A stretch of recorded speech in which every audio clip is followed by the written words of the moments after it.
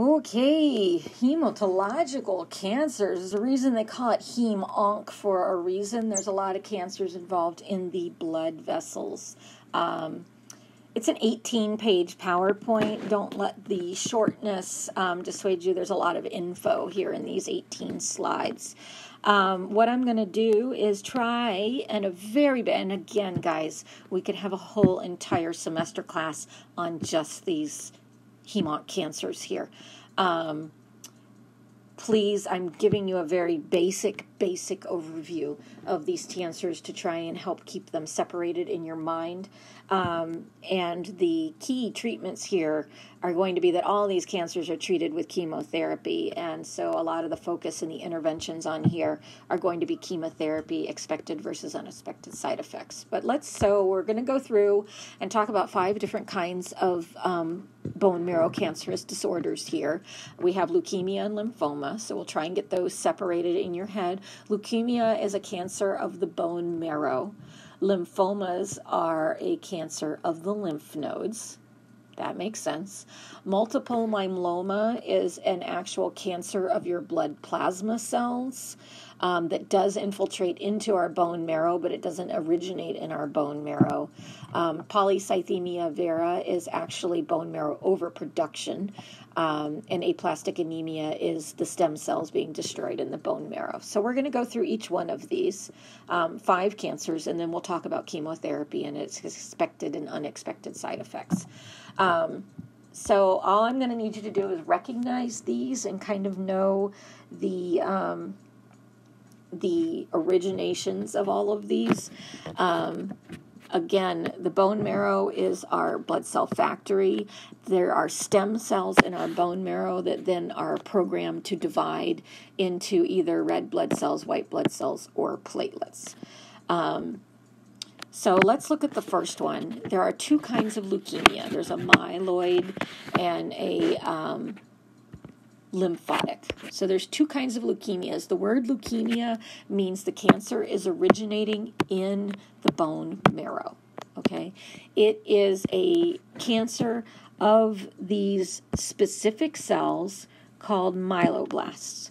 So, not a cancer of the actual stem cells. It's after the stem cell has decided it's a myeloid, and then it gets divided into different things. It gets different jobs assigned to it from there. So, this one ends up becoming cancerous and any myeloblast becomes um, it's coded wrong and it becomes cancerous and a cancerous um, cell is basically useless and um, crowds out space doesn't become what it's supposed to do, doesn't do what it's supposed to do. So, this cancer of the myeloblast means that um, now we have all these big myeloblasts hanging out in the bone marrow, but they're not making what they're supposed to be making, which is three of our different kinds of white blood cells. So we have giant myeloblasts that take up room in our bone marrow and are basically hanging out on our dollar and not doing what it's supposed to be doing. So these myeloblasts are cancerous now. They're useless to us, um, and all they do is take up space. They're not turning into um, the eosinophils, basophils, and neutrophils that we need them to turn into. You have plenty of, you have no problem making red blood cells. You have no problem making platelets until these myeloblasts take over everything and basically steal the room from making your proper cells. So eventually, over time, and those are our worsening cues, is these myeloblasts take over and um, crowd out our red blood cell platelet and lymphoblast, and lymphoblast formation. So eventually, your whole entire bone marrow is full of these big, stupid, useless myeloblasts that don't do anything. They're not creating anything, they're just taking up space. So it's like, you know, a mom's basement full of useless children that don't do anything. And um, that is kind of very simple cartoon definition of leukemia. But if this whole space is um, is taken up by myeloblasts, then the factory can't produce the things it needs to produce, and it eventually ends up not making anything. The bone marrow is full of junk. Um, So, what we're going to see on these patients is first of all, what you're going to see is just frequent infections because these guys, if you look back at the first one, were our first line of defense in um, killing infectors before they come in. The B lymphocytes, the T lymphocytes, are involved in cell immunity and specific um, attacks on specific. Um, uh, organisms, but the eosinophil, the basophil, and the neutrophil, they're always cleaning up our body. They're they're their first line of defense, and we've lost our first line of defense. So the overall white blood cell count drops because we're not making three fifths of our um, normal blood cells. So our red blood cell count will drop. And then when they go into the differential, which tells you the percentages of all the different kinds of white blood cells, we'll see that the eosinophil, the basophil, and the neutrophil are very, very small if they're being made really at all. Um, the myeloblast isn't making anything. So we have plenty of uh, lymphocytes, but none of the other white blood cells. So the overall white blood cell count is low, and then on the differential, we're missing um, the eosinophils, the basophils, and the neutrophils.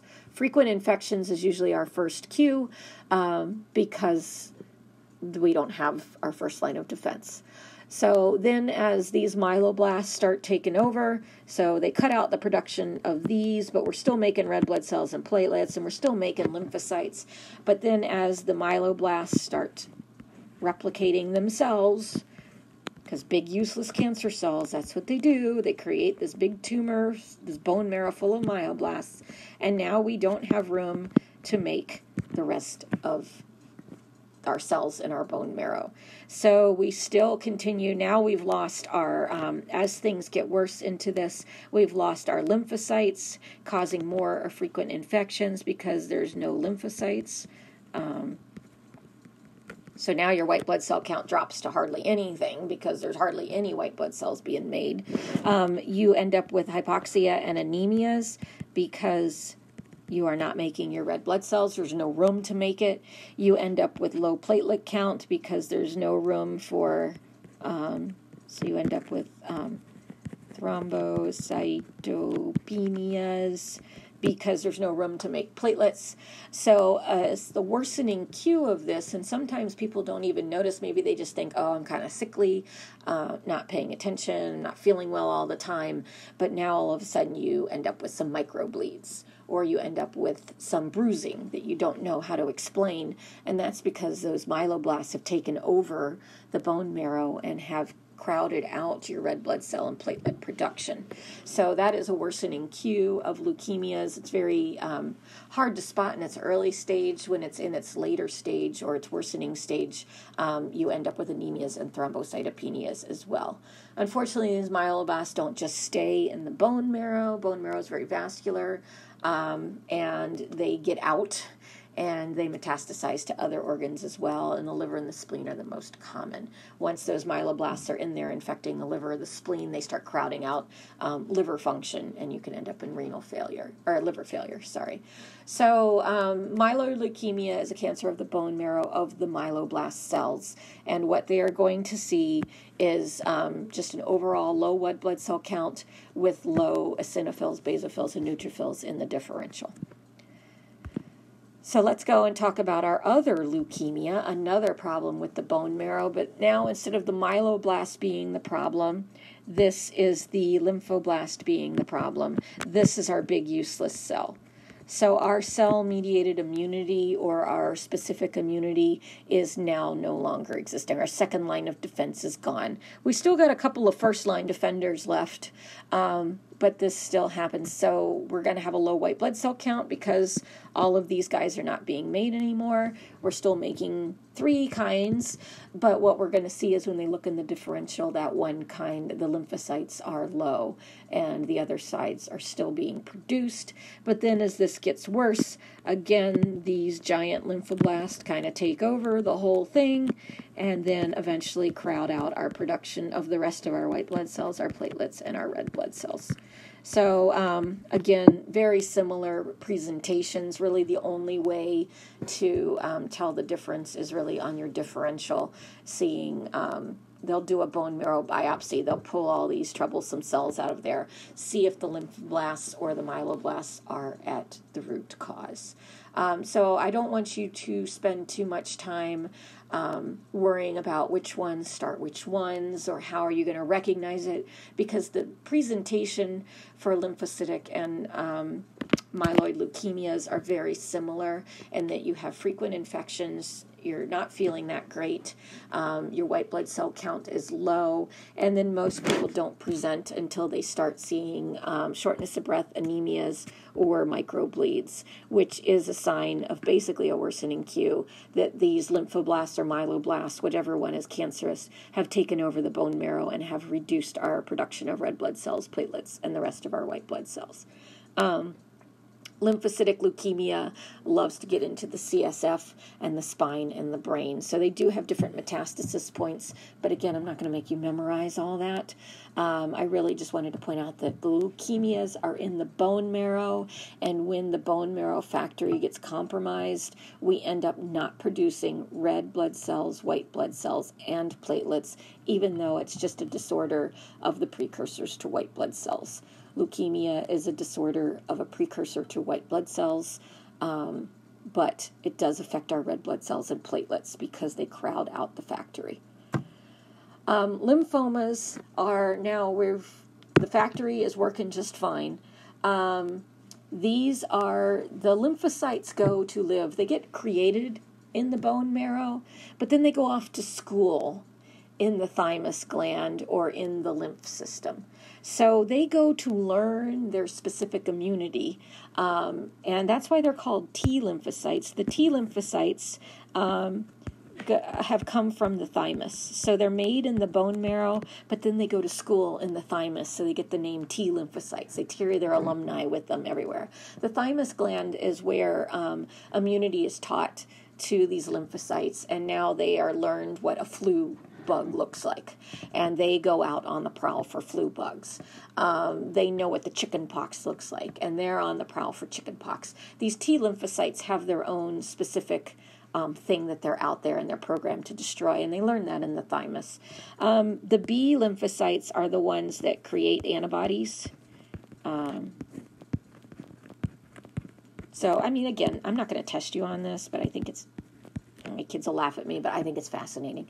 The B lymphocytes um, get released from the bone marrow and circulate around, and they get exposed to things and create um, the antibodies, and then go share them with the thymus, and then they teach um, T lymphocytes how to become specific immunity. Anyway, lymphocytes are um, create they are in charge of our antibodies and our um, cell specific um, immunity. So they kind of go off to school.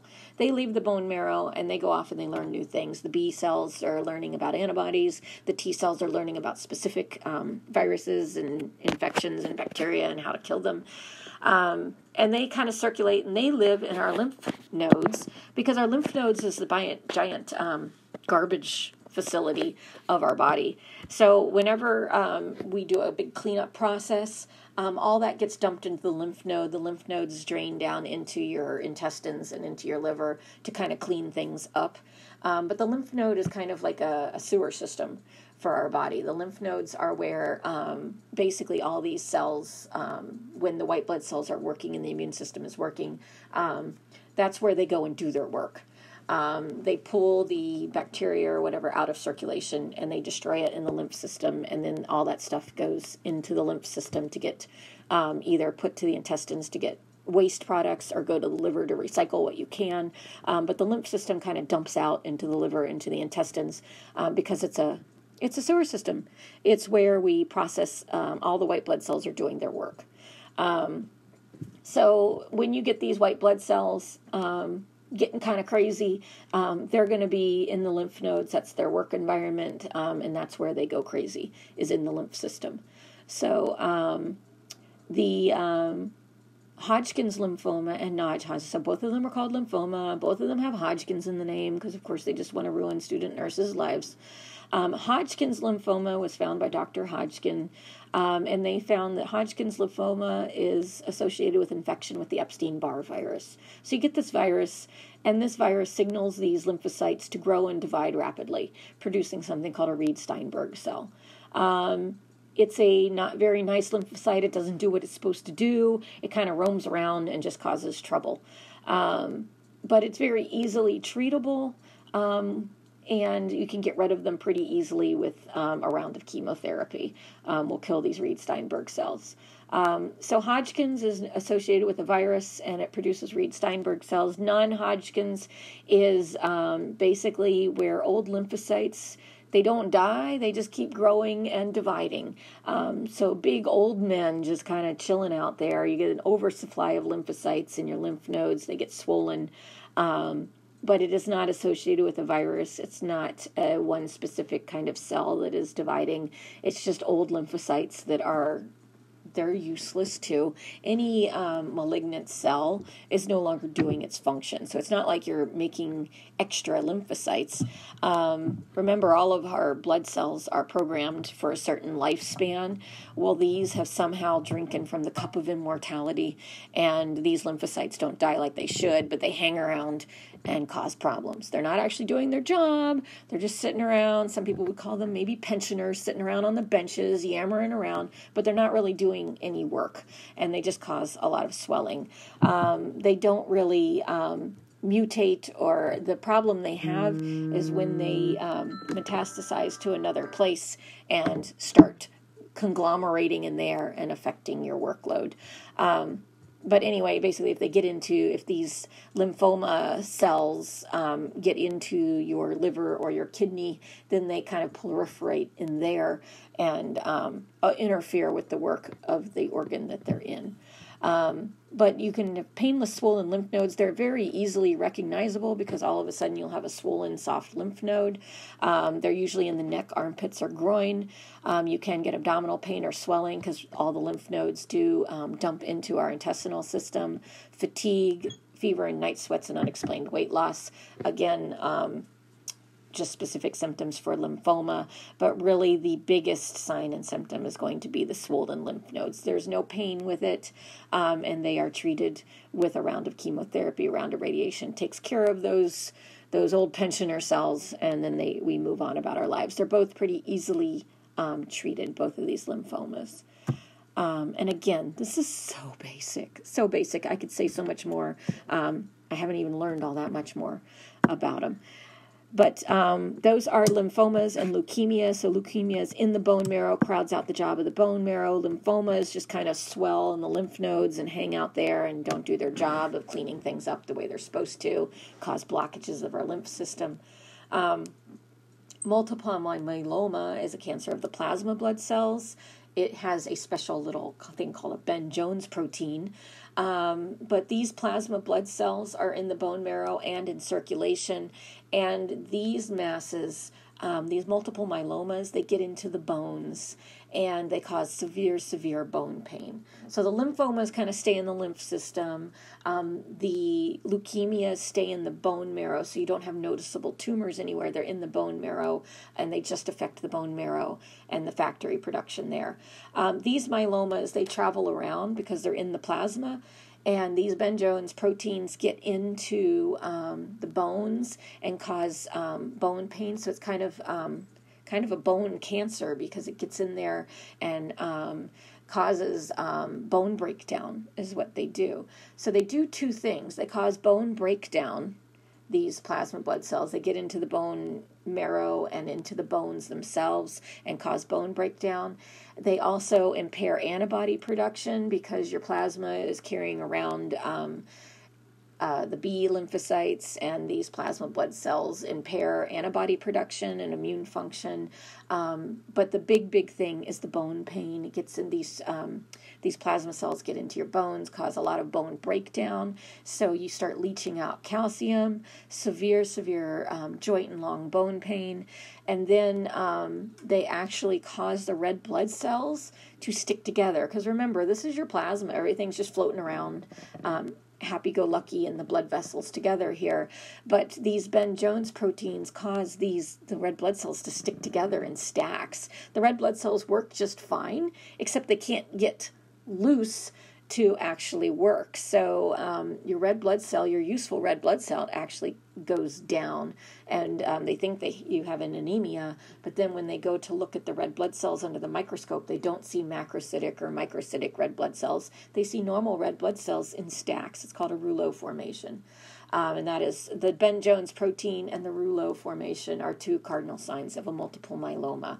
But this is a cancer of plasma blood cells, so you can imagine how easy it is for plasma cells to get around the body and um, get into trouble.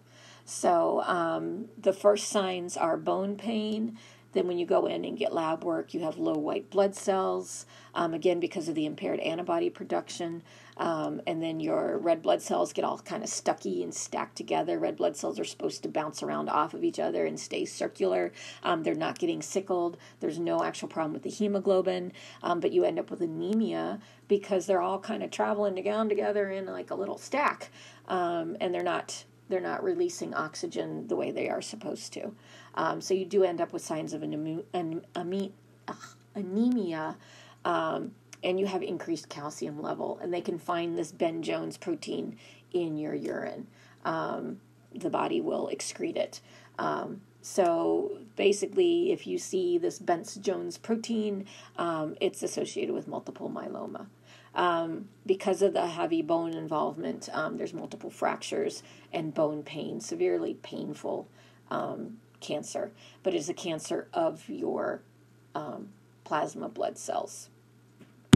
So, polycythemia vera is a bone marrow stem cell cancer. But now, so if we drew a picture, oh, I should go back. I should have drawn my picture of my bone, my stem cells. Um, in polycythemia vera, these guys are overproducing the stem cell. Let me go back. So in cells grow, and um, they make a ton of extra things. They can divide into anything. We have an overproduction. So basically, we have more stem cells which break into more things. So it's an overproduction of red mm-hmm. blood cells, mm-hmm. platelets, and white blood cells. And you're like, hey, that's amazing, right? Um, that's amazing to have so many. We get so many red blood cells, white blood cells, and platelets. Um, the only problem with this is that it makes the blood really viscous. We have too many red blood cells, white blood cells, and platelets. Um, we need a nice balance. We don't want too little, but we don't want too many either. Um, the increased blood cells in this vascular system make the blood really, really thick and viscous and inhibits blood flow.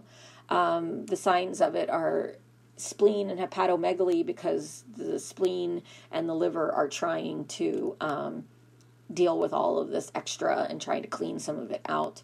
Um, because of the overproduction of red blood cells, you get a ruddy complexion, reddened skin, intermittent claudication because you've got such sluggish flow around. Um, you get intermittent um, ischemia, not because there's an occlusion or a clot or a block, it's just really sluggish blood flow.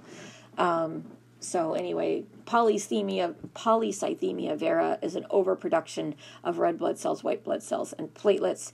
Um, you're not so much worried about any infections or anemias or thrombocytopenias. We don't have any of those. We just have basically thick blood flow. Um, aplastic anemia is where the stem cells. So here's the picture. I put the picture over here. Um, the stem cells are destroyed by something. Um, and so if the stem cells are destroyed, so is the production of everything. So this is not a a issue of a cancer that is um, taking everything, uh, you know, that is basically overproducing. It's like empty bone marrow and the fat cells end up replacing the bone marrow, and so you're not producing red blood cells, white blood cells, or platelets. Um, that's the word pancytopenia, um, aplastic anemia. So you're just missing these stem cells. They've destroyed. They've they've been destroyed um, by something, and a lot of times the destroying um, the destroying factor is high dose chemotherapy or radiation treatments, unfortunately. Um, things that create toxic chemicals, and then there's some infections that can give you an aplastic anemia.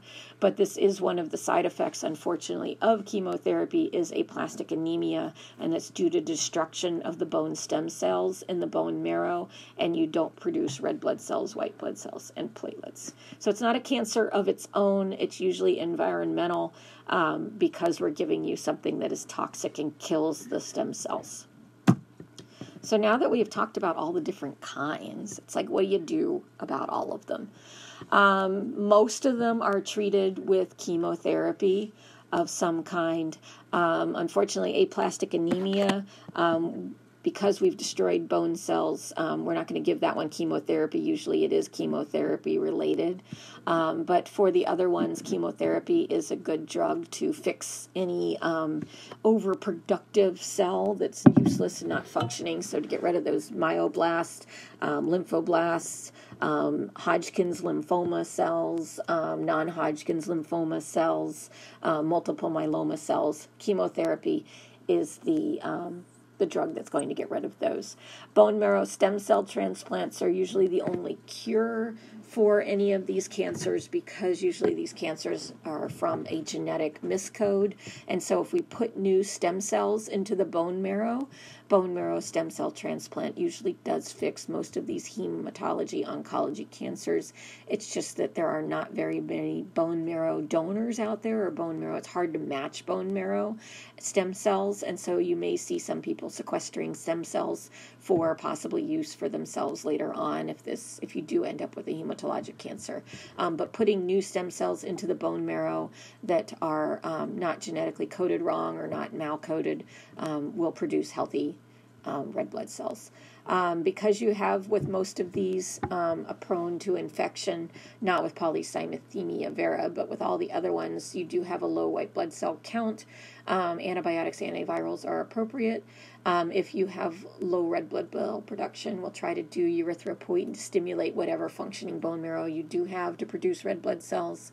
Um, aggressive hydration to flush out any toxins you may have in your body.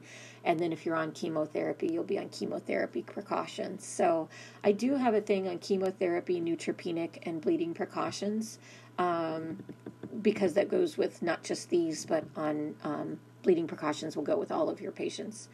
Um, when then we're going to talk about chemotherapy side effects. Um, polycythemia, polycythemia vera, we said that one is the excess blood cells. Um, we're not really going to do chemotherapy on those. We don't want to kill your stem cells. We just kind of want to remove the extra ones that it's making. Um, they'll actually just um, they'll bleed you you get phlebotomy, which means where we just take off some extra blood. Your blood's too viscous, we'll just take off those extra blood cells. You go in for periodic phlebotomy. Um, plasmapheresis is also on the table to remove cancerous cells, maybe in conjunction with um, chemotherapy and radiation for um, lymphomas, multiple myelomas, polycythemia vera can clear out uh, that can clear out the extra blood cells as well. Multiple myeloma, it's very appropriate for because it's a plasma cancer, so we would want to remove as much of your plasma as we can and replace it. But as long as one plasma cancer cell still lives, you will you will end up with multiple myeloma again. So plasmapheresis is usually used if they're going to use it in conjunction with chemotherapy for these hematology cancers. Um, do not memorize this slide, but um, it would be good to kind of just uh, recognize your most common, the end, um, the platins, the cysteines, um, the steins, um, I like um, Steins, Bines, and Platins. Um, anyway, those if you see those ends, um, those are usually chemotherapy medications. And again, um, there's those oomycins, they're anti tumor antibiotics. Um, so, bleomycin is the most common one, but it's in the same family as vancomycin. Um, some of its, some of vancomycin's big brothers are pretty big deals, um, and they can actually um, act as antibiotics against tumors. Um, so, again, these are very, very general. I'm not going to test you on chemotherapy medications, but you may see some of these meds just as you cross through your nursing reading. Um, and so I just wanted you to have kind of a little a little summary of the chemotherapy medications there. Um, if your patient is getting chemotherapy, or if for some reason they have a low white blood cell count or they have a low platelet count, um, bleeding precautions, um, thrombos. So your thrombocytopenic patient will be with bleeding precautions as well. I'm sure you've learned about bleeding precautions somewhere in your history, but in case you have not, bleeding precautions is for anybody with low platelets, whether it's chemotherapy induced or whether it's thrombocytopenia produced. Um, but it is you have a high bleeding risk. And so when I put bleeding precautions in any of your interventions on your clotting disorders, these are the bleeding precautions. Keep an eye out for new bruising, soft toothbrush for mouth care. We don't want to create the gums um, bleeding because they won't stop. Um, electric razors rather than straight blades, um, avoiding constipation, um, no suppositories, enemas, or rectal thermometers. Again, we don't want any um, anything with bleeding. No aspirin, no products with aspirin, no anticoagulants, um, and avoiding IM injections and IV sticks and procedures if possible. This is not the patient, a thrombocytopenic patient is not the one we want to be shoving a Foley into. Um, anytime you have a risk of bleeding, you have to double think the procedure if you're on thrombocytopenic precautions. Um, neutropenic precautions are just that you have a high infection risk. And um, if you are, it's called neutropenic because they're usually looking at the neutrophils and your neutrophil count is low. Um, but it really factors in for any low white blood cell count, especially neutropenia. Um, neutrophils are your first line that really get in there. So if your neutrophils are low, um, your first line uh, immune system is gone. Um, so, if you have a high infection risk, always monitoring a temperature and watch for a fever. Um, but if your patient has a low white blood cell count or low neutrophils, you're not going to mount a fever. Um, those are the cells involved in um, screaming out for the immune system to bump up and create a fever. If those cells are missing, there is no cry for a fever, and you can have a full blown infection without a fever. So, a fever in a neutropenic patient is always an emergency because if you have mounted a fever response, you're pretty dang sick and you're pretty dang infected. It's a late late sign. Um, usually, fever is our first sign, but in a patient with a low white blood cell or a low neutropenia, neutropenia pina, uh, I've been talking too long, uh, low uh, neutrophil count, then a fever is a big, big deal. Um, strict hand washing. Patients should wear a mask to self protect themselves from all the other people's germs while they're wandering around the hospital. Um, infected staff and visitors should not come away. The neutropenic diet is no raw or uncooked foods because they have not been cleaned enough, and you can get um, salmonella very easily. So, no fresh or raw foods. Um, no fresh flowers, live plants on oncology units. Don't send flowers. They won't allow them in the room. There's microbes and fungi in the dirt. Um, they don't let anything in um, that is live plant wise. Um, coughing, deep breathing to prevent pneumonia, and monitoring very closely for signs and symptoms of infection because our first signs of infection are usually an increased white blood cell count and a fever, and we can't do that if you're a neutropenic. So um, you're watching for signs and symptoms of infection because our first telltale signs are now been shut down. So that is a little on neutropenic and thrombocytopenic precautions. Um, chemotherapy precautions. I don't know if you got this in Block 2. I think it's in the curriculum for Block 2. I'm not going to test you on this, but I think you need to learn it somewhere along the line. So I'm putting it here. Um, your hematology and endocrine exam has plenty on it for 25 questions, so I'm not putting chemotherapy on it. So you can just whew, sit back and enjoy the rest of the lecture. You do not need to take notes on this, but it is good to know for your nursing practice. Um, and I have seen that it's not covered yet. So if it has been, just shut off the recording and you're done. If you have not heard anything about chemotherapy precautions, you can continue to listen, but you do not need to take notes. I have plenty to test you on between endocrine and the hematological disorders that I don't need to add chemotherapy to it. So, this is for your own information. Um, I will let you read through these, and I'm not going to spend a lot of time going over that because, again, um, a lot of these precautions are to keep you safe from the chemotherapy um, med itself. Um, you're supposed to wear certain gloves. Everything that is waste, body waste, or the gloves that you use, or the actual medications go into the chemotherapy waste bin. Everything is color coded yellow. Um, if your patient is getting chemotherapy, um, they are their body fluids are considered chemotherapy or radioactive, um, and so they will, um, and this goes for patients that are having any kind of brachytherapy, which is where you have radioactive um, pellets um, inserted. Um, basically, their waste can, is has chemotherapy in it or some um, reactive medications. So um, the toilet, your waste, your stool, your urine is all considered contaminated. that contaminated fluid can be flushed down the toilet, but should be flushed twice so that no one else is exposed to the chemotherapy meds. Um, again, fluid, you know, if the patient is on chemotherapy precautions, there's a lot more um, care involved. I'll let you read through it. And again, I think it's very interesting for practice. Um, you might come back to those chemotherapy precautions if you ever get a patient with chemotherapy. Um, I just want to go over real quick when your patient is getting chemotherapy, expected versus unexpected side effects. Um, the purpose of chemotherapy is to kill rapidly replicating cells.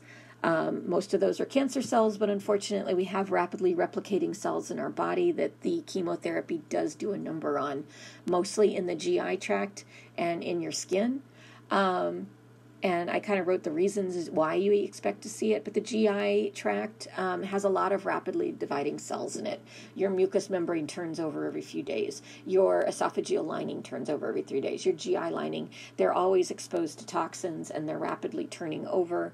Um, so when we give chemotherapy, we end up destroying our um, GI tract. And so, mouth, throat sores, nausea, vomiting, diarrhea, constipation, a metallic taste, appetite loss, all expected, unfortunately. Um, blood disorders, again, are red blood cells, white blood cells, platelets are constantly being turned over, and um, chemotherapy does lead to aplastic anemia, which is a reduction in all three of them. Um, chemotherapy directly affects nerves. Um, so, a lot of nerve damage and pain is expected with chemotherapy. Sometimes that nerve damage, unfortunately, is permanent. Um, we have trouble thinking and memory, and of course, hair loss. We all think of hair loss. Hair follicles actually um, divide so rapidly and they grow so rapidly that chemotherapy attacks those follicles um, and kills the follicles. Um, the um, hair loss is um, temporary. As soon as chemotherapy stops, the follicles start producing again. Um, but those are expected side effects. Things that we never expect if your patient is getting chemotherapy is um, basically any kind of organ failure. Um, tumor lysis syndrome is where the tumor cells are killed off and lysed and release all of their bad contents into the bloodstream, but actually clog up the kidneys and lead to acute renal failure. Any fever is an oncology emergency, especially if it's greater than 101. That means that if you've gotten a fever that high, it's because you are so chock full of bacteria that the immune system finally recognized it. It didn't need a signal, it's gotten. Um, the fever, if the fever response is there, you're very late into an infection. Um, bone breakdown can cause serious hypercalcemia. We do not expect that to happen. Um, we don't expect active bleeding from severe thrombocytopenia, um, spinal cord compression, bowel obstruction, and any extravasation of the chemotherapy can cause problems at your infusion site. You're basically pumping a poison into the body. Um, so I wanted to just kind of review all that. What you do need to know from this lecture is just being able to, um, sorry, I'm just going back through here. Um, going back through here and recognizing the most common um, hematological oncological cancers and how to recognize them.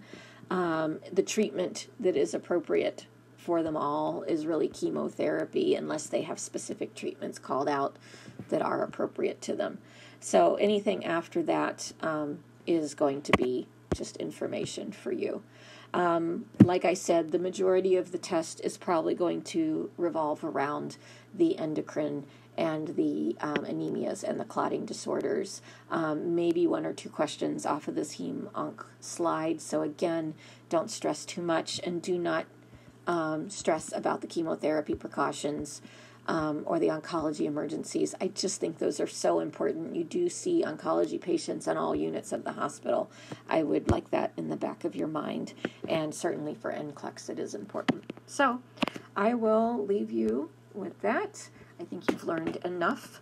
Um, and let me know again, as usual, if you have any questions or concerns or come across anything in your studies that you don't understand, and send me an email and I'll try to explain it for you.